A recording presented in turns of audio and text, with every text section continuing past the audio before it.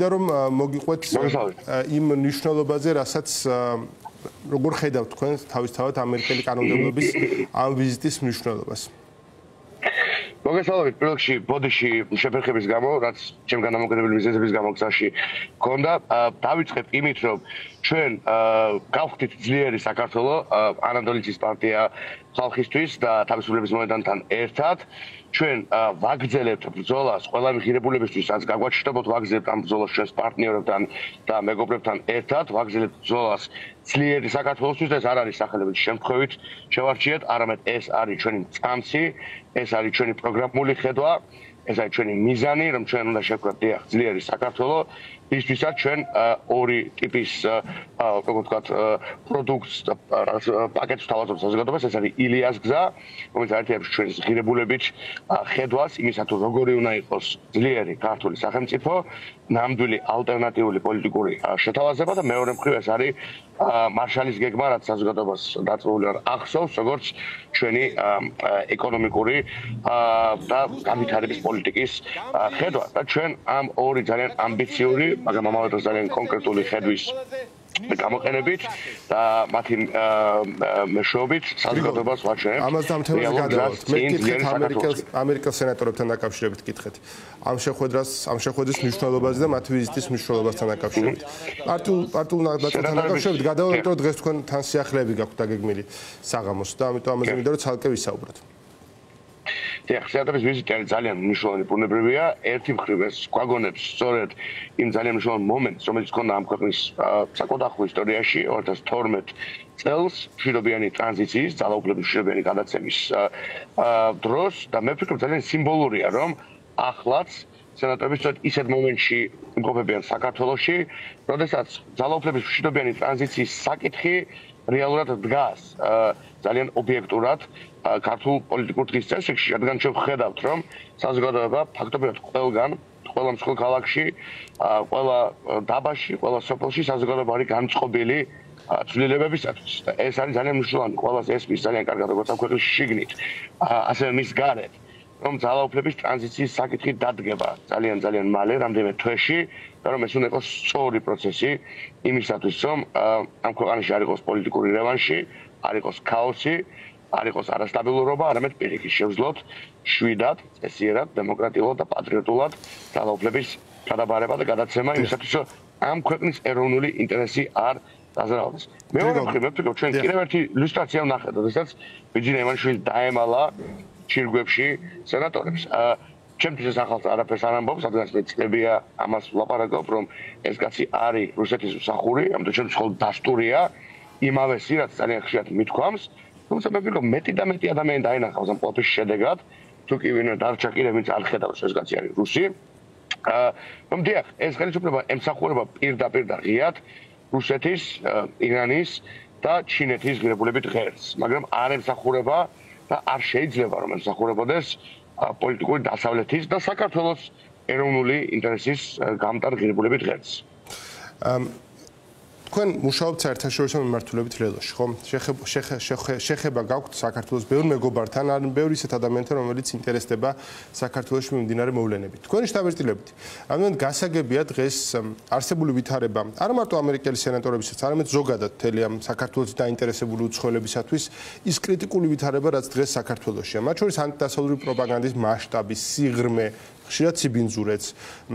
რამდენად შესაძლებელია საერთოდ აი ამ ტიპის ინტენსივობის პროპაგანდის სწორად პროპაგანდის შესახებ სწორად ინფორმირება მათი, ვინც ამით წესით უნდა დაინტერესდეს. ძალიან კარგი კითხვა. ჩვენ ძალიან ბევრს მუშაობთ. მეც ჩემ პარტიიდან, სხვა კოლეგები სხვა პარტიებიდან იმისათვის, რომ ყველა ჩვენი პარტნიორი იყოს ინფორმირებული ყველა ძირითად საკითხზე. მე ვფიქრობ, რომ საქმე ეხება ხალბატონ შაჰინს, სენატორ შაჰინს, ის არის დაწვრილებით ინფორმირებული. მანიც ის საუცხოდ დეტალურად ასე თუ ვიტყვით საქართველოს ქართული პოლიტიკა აქ მიმდინარე მოვლენებით არ მხოლოდ ახლა არამედ წლების განმავლობაში ისტორიულ პერსპექტივაში. ყველას ყველა კოლეგაც იგებს ვერ ვიტყვით გასაკურელია არის გამორჩეული შემთხვევები რომელსაც თქვა კაბატონ შაჰინ წარმოადგენს ოდესაც ადამიანი ძალიან დიდი ხნის განმავლობაში მისდევს პოლიტიკას. თუმცა მე ვფიქრობ რომ ძირითადი პოლიტიკური დედაქალაქები არის კარგად ინფორმირებული, ამ კუთხით ძალიან ბევრი შრომა არის გასაწევი და ჩვენ ამას ვწევთ, მაგრამ ვაშინგტონის წამყვანი პოლიტიკოსები, ბრიუსელის, ბერლინის და არაერთი სხვა დედაქალაქის წამყვანი პოლიტიკოსები არიან ნამდვილად შემიძლია ვთქვა ობიექტურად ძალიან კარგად დაცულებით ინფორმირებული თქვენ კარგად ამბობთ არა მარტო იმაზე თუ როგორია ხელისუფლება, არამედ მასშტაბზეც ამ ხელისუფლების ასეთობისა, იმიტომ ძალიან რთულია წარმოიდგინოთ ეს შეხარ სხვა ქვეყნის წარმომადგენელი ძალიან რთულია წარმოიდგინოს სრული მასშტაბი იმისა, რასაც ეწოდება ქართული ოცნება, იმიტომ ეს არ არის მარტივი შემთხვევა, ქართული ოცნება არის ძალიან უჩვეულო შემთხვევა რუსულ, ჩინურ, ირანული და ბელორუსული მეთოდებისა, გავლენებისა, პრაქტიკებისა, რომელიც არის შერწყმული ქართულ მანკერტარიცებთან რაც შესაძლოა ქონია ქვეყანაში 30 წლის განმავლობაში. ამიტომ ძალიან სპეციფიკურად ასახსნელი არის ის თუ რას ნიშნავს ქართული ოცნება და ჩვენ ამაზე მუდმივად მუშაობთ და მე ვფიქრობ ისაც ბოლო წელიწად ნახევარში ვნახეთ მოწყობს რომ საერთაშორისო აზრი არის ცალსახად განწყობილი და ჩამოყალიბებული ქართული ოცნების საკითხზე და ეს არის ნეგატიური მიმართულებით ჩამოყალიბებული, იმიტომ რომ ქართულოცებას არც ერთი მეგობარი საერთაშორისო ასპარეზზე არ დარჩა. და ბოლო კითხვა რომ დაგიშვათ, სწორედ იმ თემაზე რითიც დავიწყეთ საუბარი. დღეს, ну, ველოდებით რომ თქვენს პოლიტიკურ გაერთიანებას ამ პლატფორმას, სადაც თქვენ და ანადოლიძე და თავისუფლების მოედანი ხართ ახლა ერთად. ну, საბოლოოდ შემოუერთდება ალეკო ელისაშვილიც და საკმაოდ ეკლექტური გაერთიანება გამოგივათ. ზოგადად ლელო წინააღმდეგი იყო ერთიანი სისა და აქ მრავალ მიზეზთა შორის სახელდებოდა ისიც, რომ თქვენ არ გინდოდათ საკუთარი პარტიული იდენტობის დაკარგვა და გადღაბნა სხვა სხვილ პოლიტიკურ იდენტობებში. მაგრამ ფაქტია რომ რაღაც ერთიანი სიის მცირე ვერსია კი გამოგივიდათ, ხო? აქ ერთად არის თავმოყრილი ლელოსთან ერთად საკმაოდ განსხვავებულ პოზიციებზე სხვადასხვა დროს არსებული ანადოლიძე, კრიტიკულად დაპირისპირებული ალეკო ელისაშვილი, რა ტიპის გაერთიანებას აშენებს ლელო? ანუ რა არის მნიშვნელოვანი რომ ლელო იყოს ცენტრში ერთიანი სიის, ანუ ამ ამ ტიპის ერთიანი სიის? თუ რა რა რა ტიპის გაერთიანებაა ეს? დავიწყებ კი ბატონო, დავიწყებით მე სამსუბიდან მგონია ეს გაერთიანება ეკლექტური პირიქით მგონია რომ ეს გაერთიანება დგას სწორედ ღირებულებებზე, ფასეულობებზე, რომელსაც ჩვენ ყველანი ვიზიარებთ. აა მათ შორის უბრალოდ ყოვლის არის პოლიტიკური, კონსტიტუციური საკითხები, კანონის უზენაესობა, დემოკრატიული უფლებები, პოლიტიკური ზეგავლენისგან თავისუფალი მართლმსაჯულება და სახელმწიფო სისტემა, აი მართლაც ილიას გზა, ის ის ის ილია ჭავჭავაძე ამდენს იბძოდა მეორე მხრივ არის ჩვენი ხედვა იმისა თუ როგორ უნდა შევძლოთ ამ ქვეყანაში ეკონომიკური ზრდის მიღწევა და ასევე სოციალურად სამართლიანი სახელმწიფოს მიღწევა.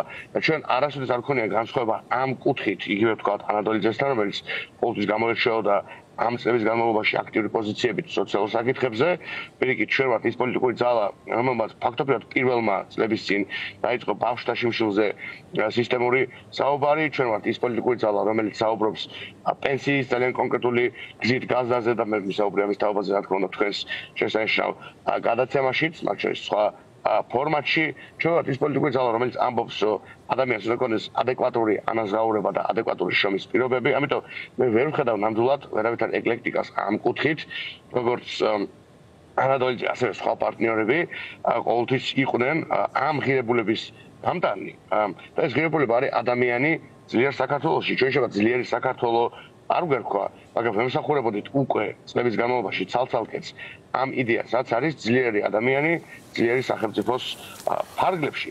ამიტომაც მე ვფიქრობ, ჩვენ სწორედ რომ ვიპოვეთ ერთმანეთის სწორად ღირებულებითი კუთხით და ყველა ისეთ ადამიანს, ვისაც არც ქართული ოცნება და არც მეორე მხრივ წარსული სამეფოები დაბრუნება არ სურს, ჩვენ შევთავაზეთ ნამდვილი ალტერნატივა. ამიტომ ვერავის ვერ ეთქვის, რომ მას არ აქვს არჩევანი.